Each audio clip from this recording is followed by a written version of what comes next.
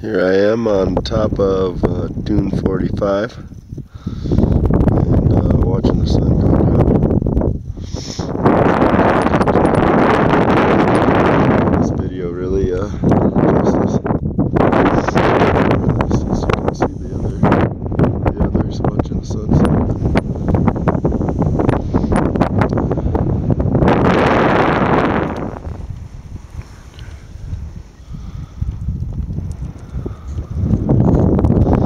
Namibia is a beautiful place.